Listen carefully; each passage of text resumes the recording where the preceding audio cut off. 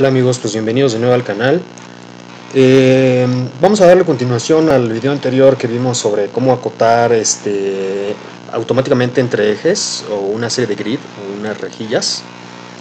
Bueno, eh, una persona me comentaba eh, que cómo podríamos hacer para que automáticamente también se pudieran acotar pues nuestros muros, ¿no?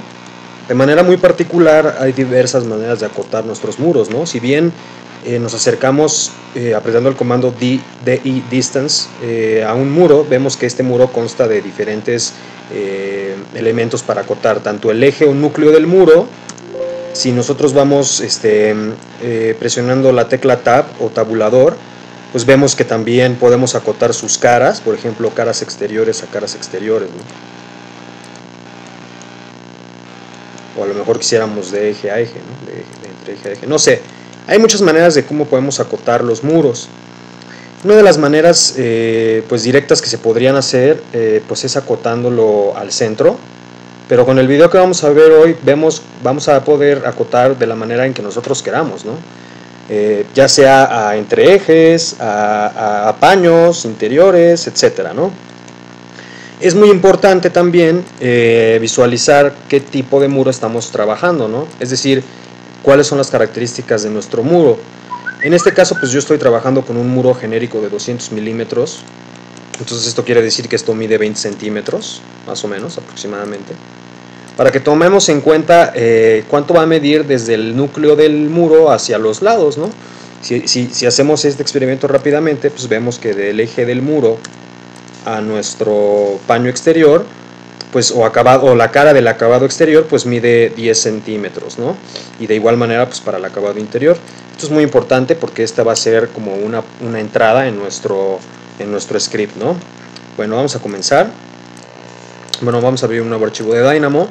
Ya habíamos hablado anteriormente de cómo acotar para lo cual pues voy a llamar a, a la pestaña de Revit Elements. Perdón en la pestaña de Selection Select Model Elements. Voy a seleccionar mis muros. Ok, aquí ya están mis muros, ¿no? Vemos que me da, pues ya, a partir de esto, mis muros. Si yo me vengo a la pestaña de Elements, Dimension, by Elements, Recordemos que tenemos que decirle a Dynamo que estamos trabajando en el documento actual, document current, document active view,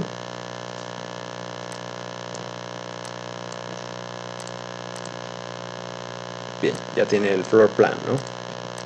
Si nosotros directamente le damos, ok, vamos a acotar estos, estos muros, ¿no? Ah, súper. Vemos que nos acota al núcleo o al eje del muro, ¿no? Pero nosotros queremos acotar esta cara del muro, ¿no? Esta cara exterior. Pues bueno. Entonces es muy fácil hacerlo. Voy a poner esto en manual.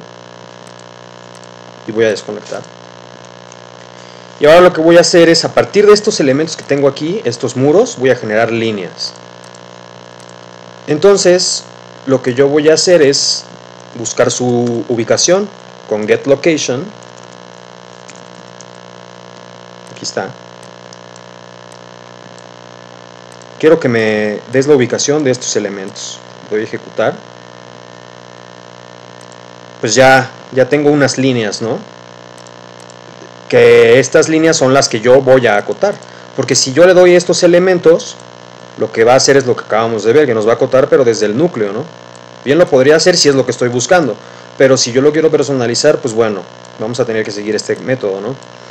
Eh, este element gate location pues, me da una serie de líneas, ¿no? Donde están ubicados esos muros, eh, que en realidad son las líneas centrales, ¿no? Entonces yo a estas líneas lo que voy a hacer es darle, eh, convertirlas a líneas de modelo, para que entonces, si vemos aquí, nos pide en el input un elemento, nosotros no podemos darle directamente estas líneas porque no son elementos de Revit. Entonces lo que vamos a hacer es irnos a Revit, perdón, lo primero que tenemos que hacer es convertir estas líneas a curvas, ¿no? ¿Cómo lo vamos a hacer? Pues bueno, es muy, muy fácil, vamos a sacar su start point. Start point.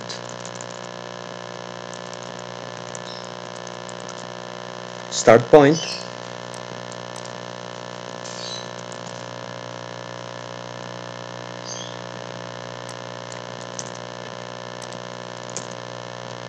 y nuestro endpoint. Le doy a ejecutar.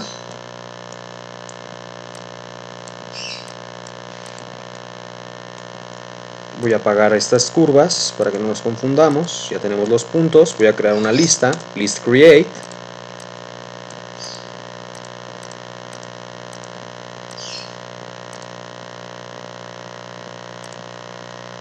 Vemos que ya tenemos una serie de, listas anidadas, pero si nos damos cuenta, aquí lo que me está diciendo es, ah, ok, pues sí, vas a tener dos líneas con estos puntos y van a tener estas coordenadas, pero yo en realidad voy a necesitar cinco líneas. Entonces lo que vamos a hacer es utilizar un transpose, que lo que hace es convertirnos las filas a columnas, de ejecutar, y ahora sí ya tengo mis cinco líneas que voy a ocupar con estos dos puntos de inicio. Vamos a hacer esto un poco más por acá y ahora voy a utilizar un polycurve by points y ya vemos que nos genera las curvas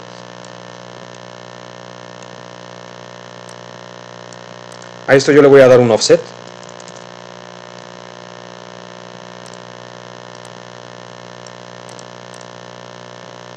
Vamos a ejecutar automáticamente se me hace un offset así. La distancia, recordábamos que la distancia, la mitad de nuestro, digámoslo así, que de nuestro entreeje es 10 centímetros, entonces yo le voy a decir que es punto 1, 0.1, 0.1, lo voy a ejecutar.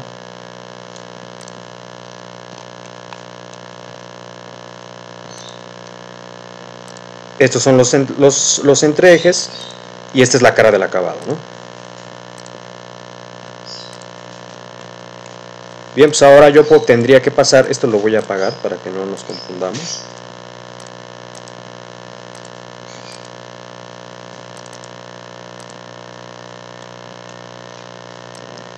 Y ahora aquí voy a convertirlas a curvas de modelo. vamos a ir a Revit. elements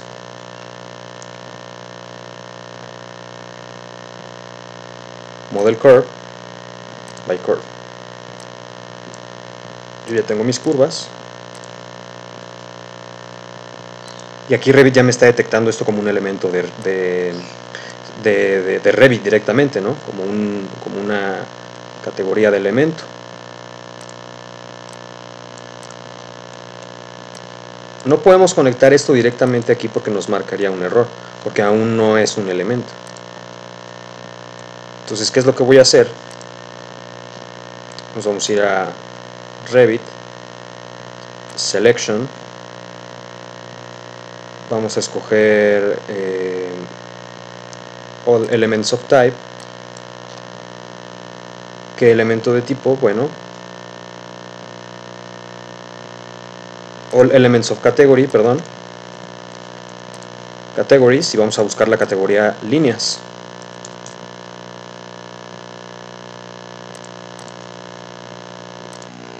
Si nosotros venimos al eh, User Interface de Revit, vemos que ya tenemos aquí fabricadas unas líneas que ya son directamente desde Revit. Si nos damos cuenta, pues ya pertenecen a la categoría de líneas en Revit. Entonces esto ya podríamos acotarlo, ¿no? conectamos. Bueno, pues en el modelo solo hay estas este, model curves, que si nosotros desplegamos esto, van a coincidir los items, ¿no? Bueno, esto sí yo ya le podría decir que me haga la cota, ¿no? Vamos a ver qué pasa. Vamos a, a ver qué pasa. le doy a ejecutar. Y automáticamente pues, se me ha acotado desde la cara exterior, ¿no? A la cara exterior. Es decir, de paño exterior a paño exterior. Si yo quisiera acotar de paño exterior de una a paño interior de una, pues bueno, tendríamos que ir modificando eh, un poco más progresivo esto, ¿no?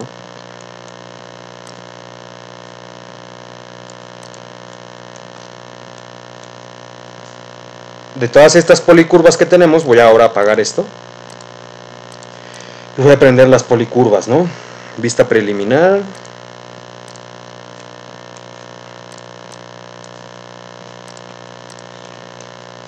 Este curve offset, vista preliminar, yo lo voy a copiar y lo voy a pegar, pero ahora la distancia va a ser menos 0.1, ¿no?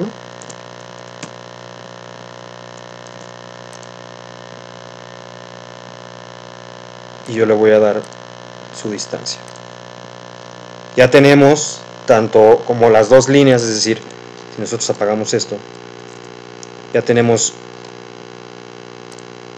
ah, lo que pasa es que no hemos convertido vamos a convertirlo le voy a dar a ejecutar tanto la línea del paño como esta línea del paño.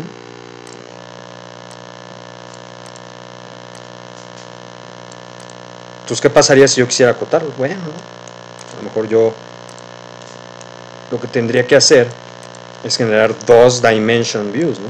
Una que me acote una con una y otra con otra, o simplemente aquí ya tenemos unas, un, un offset curve, que son estas, que son las de este paño, y estas de este paño.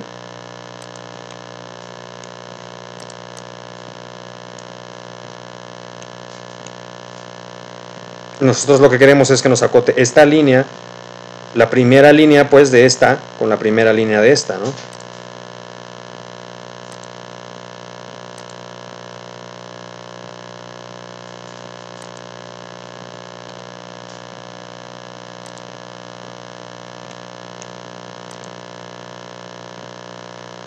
es decir 0, en este caso con la 1, ¿no?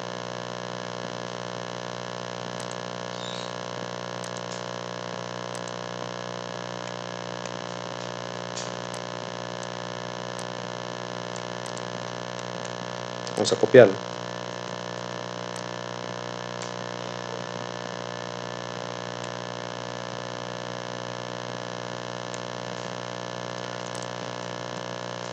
ya tenemos esto. A ver vamos a darle ejecutar bueno ahora nos ha cotado de manera el muro y además nos ha hecho también la cota este, central no o sea nos ha hecho nos ha acotado de manera eh, progresiva o sea nos ha acotado cuánto mide nuestro muro y además nos ha acotado en medio esto está buenísimo no esto no me la esperaba pero bueno espero que de así de alguna forma les sirva, ¿no? Ya nada más para que lo tuviésemos en mente para pues para la línea, ¿no? Ya sabíamos lo que había que hacer. Había que hacer un este un curve point parameter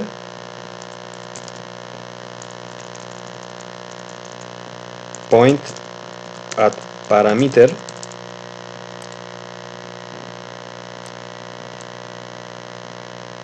Estas son mis curvas, no importa cuál de los dos, lo único que quiero es generar una línea que vaya eh, a través de estas líneas, pero en forma perpendicular, que vaya desde 0 hasta 1, quizá va desde menos 0.05,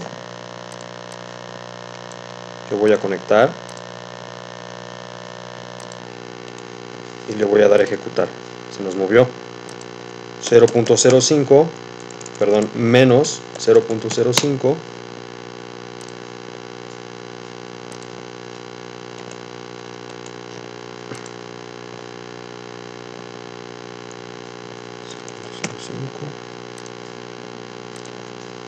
Ahí está. Ahora sí, a través de esto podríamos generar una línea. Vamos a generar esa línea. Line by best true points para ejecutar. ¿Dónde se colocó la línea? Se está colocando más o menos ahí, ¿no? Vamos a suponer que aquí así yo lo quiero.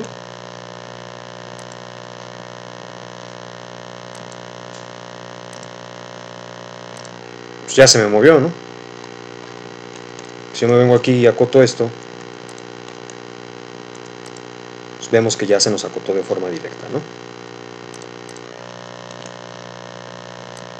Ahora, para que nosotros poder correr este script, lo que tendríamos que hacer es decir, oye, ¿sabes qué? Estos, pues yo voy a seleccionar unos muros, ¿no? O lo que sea que quiera, ¿no? Bueno, en este caso sí van a tener que ser muros, ¿no? Y el offset, yo lo voy a dejar acá también de instancia, porque no sabemos si el offset pues, va a cambiar en cuanto a los muros, ¿no? Pero eso puede ser este o no una entrada, es decir, si yo cambio mis muros o cambian de tipo y de espesor y ahora ya no miden 20 centímetros, ahora miden 30, ¿no? Pues entonces lo que tendríamos que hacer es dejar a lo mejor este como entrada o no. Yo de este momento, de, de momento pues no lo voy a dejar como entrada, solamente este.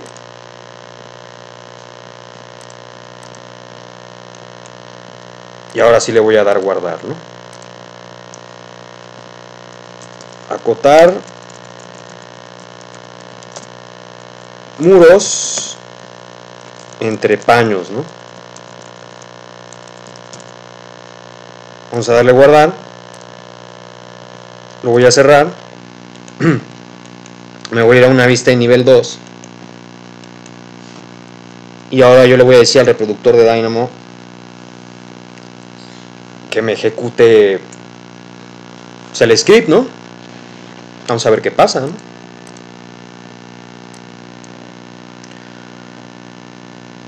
Aquí está, acotar muros de entrepaños, ¿no?